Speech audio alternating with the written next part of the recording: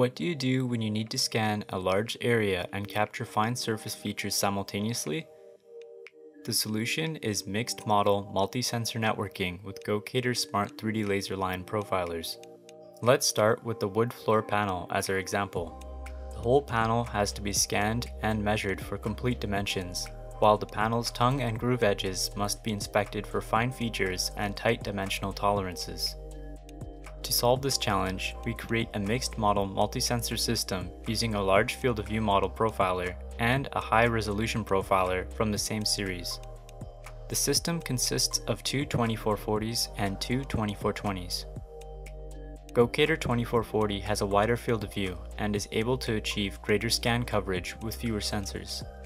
This model captures the complete dimensions of the panel's top and bottom surfaces in motion including the weight distributing grooves that run lengthwise along the bottom face. Gocator 2420 has the higher resolution and generates the required high precision data from the panel's tongue and groove edges. Mixed model systems such as this one allow you to fulfill two different scanning requirements in a single pass.